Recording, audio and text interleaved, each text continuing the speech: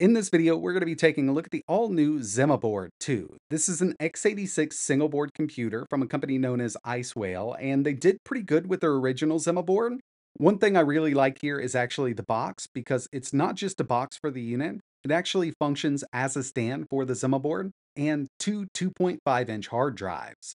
This board can support up to 32 terabytes of storage, utilizing two SATA drives. We've got enough connectors on this unit, and when it comes to the new CPU and RAM they opted to use here, it's much faster than the original.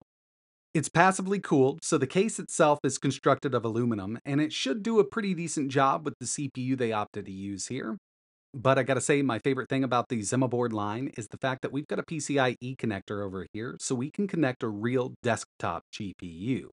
We also get a few accessories inside of the box, like our SATA cabling, so we can connect two SATA drives to this unit, and we'll take a look at I.O. in just a bit. Plus, we get a 36 watt 12 volt power supply.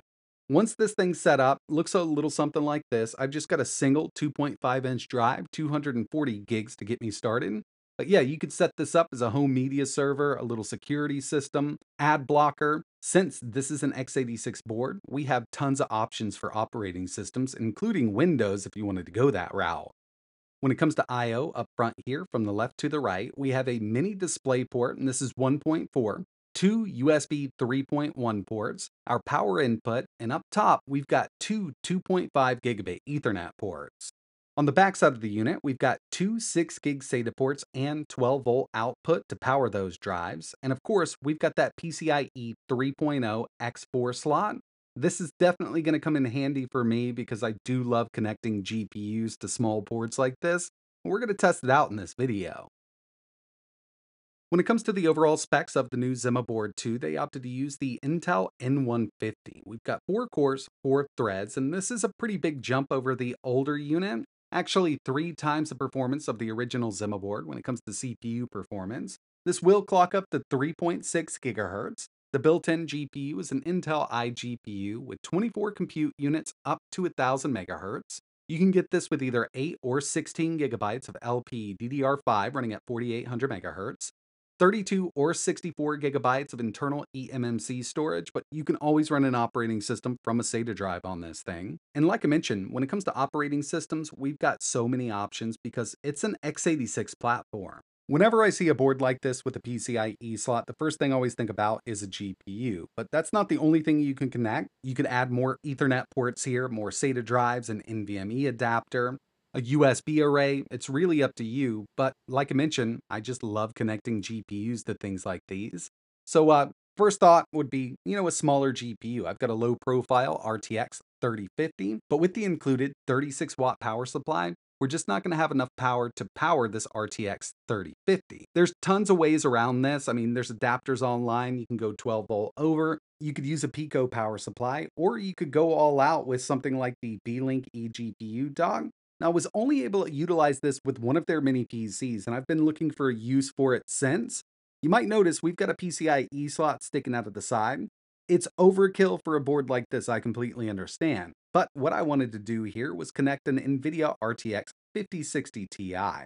It's also got a 600 watt power supply built in, and uh, again, it only worked with one of their mini PCs, and since then I've been kind of wanting to use it with something else, so I think this is the perfect opportunity. I just plug the ZimaBoard right into that slot. And this thing also supports Wi-Fi and we've got an extra USB port. And with the correct drivers, I can get all of this working with the ZimaBoard. First things first, I wanted to give you a look at Zima OS, and this is actually really awesome. And of course, since we've got an x86 board here, we can install basically any operating system we want. We can go with Windows 11. You can go with any variant of Linux as long as it supports an x86 CPU. This is what came pre-installed on the eMMC. It's a headless operating system and you can access it anywhere in the world using a browser. And this is great because it's really easy to use. And like I showed you, we did install that 240 gig drive. Soon as I booted this up, logged into it, it asked me if I wanted to format it correctly, and we're good to go with that drive. Uh, from here, files. I've got SSD storage. I've also got the internal storage, and I think I actually may have drugged them over to my eMMC storage. Actually, let's check. No, there, here we go. So from my SSD, got a couple videos here. I've just kind of imported them, and uh, these will play just fine on that N150 streaming from it, 4K 60. Pretty decently high bitrate here, and you could always just use the built-in File Explorer as your little media server if you want to, as long as you're accessing it from a browser.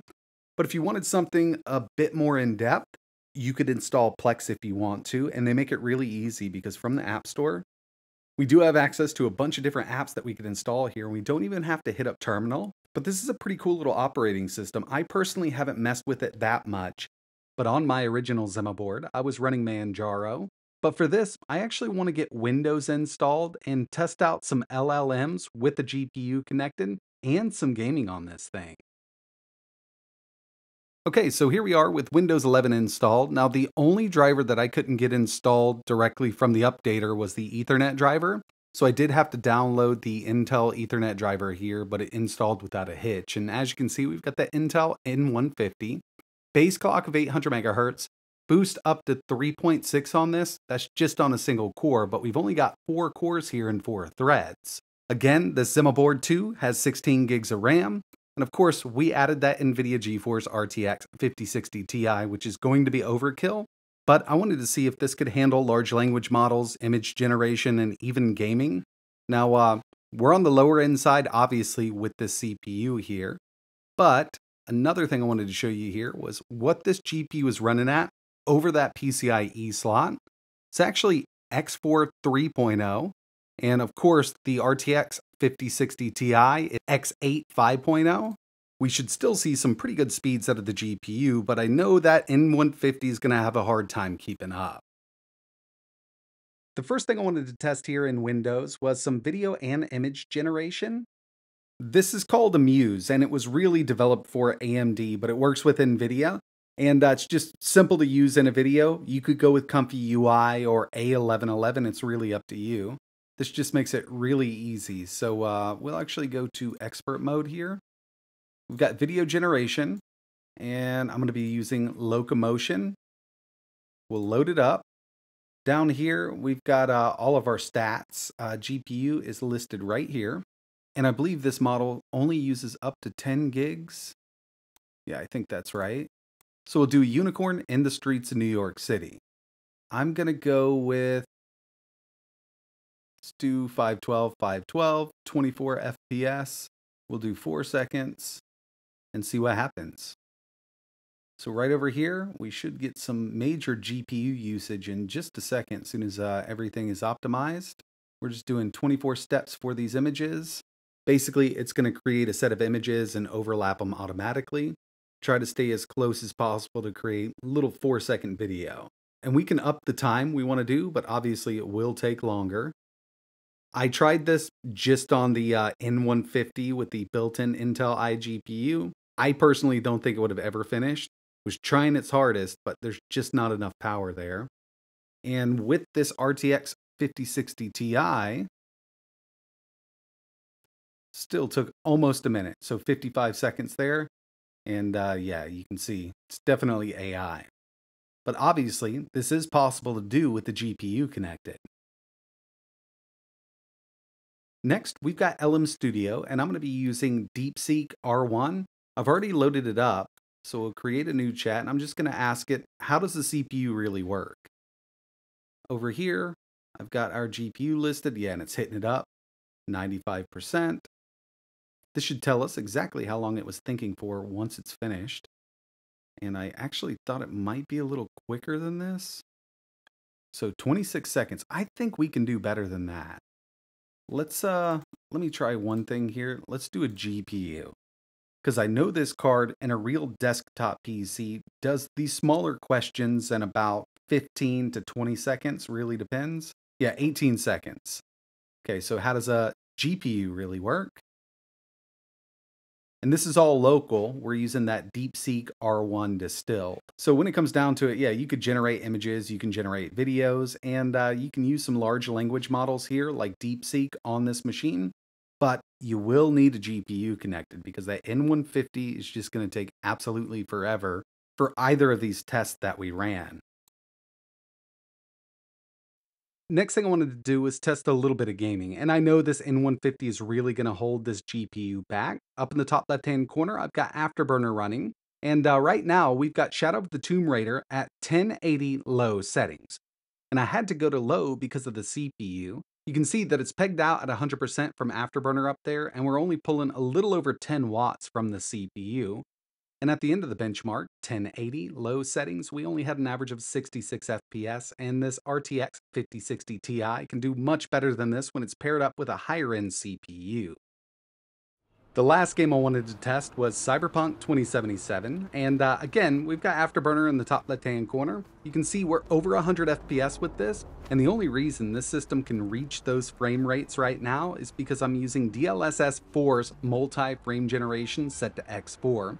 We're at 1080 low, and lows because of the CPU. I mean, it's really going to stress it out at ultra. But uh, with multi-frame gen, and even frame gen in general, I've noticed it really does help out with lower end CPUs for sure. Pretty crazy we're able to reach these kind of frame rates, but most of the frames that we're seeing right now are fake frames, so they're being generated by DLSS 4's multi-frame gen technology.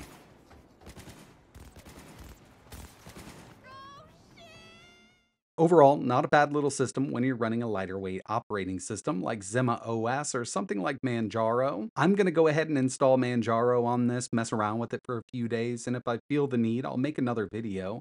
But I wanted to show this off with the GPU connected, and really the easiest way to get the newer drivers and everything like that is to use Windows. The board will run with Windows. You can connect the GPU. It's definitely not a gaming machine with that N150, but it was never promised to be a gaming machine. This is something I like to do with these little boards just to see, you know, how it would handle it. This is a great little home media server, a security system. There's tons of different ways that you could use the ZimaBoard 2. And if you're interested in learning a little more, I will leave a link to their official website. They've got a Kickstarter going right now. And if there's anything else you want to see running on the ZimaBoard 2, just let me know in the comments below. I'll put it in that next video. But that's going to wrap it up for our first look here. If you've got any questions, let me know in the comments. And like always, thanks for watching.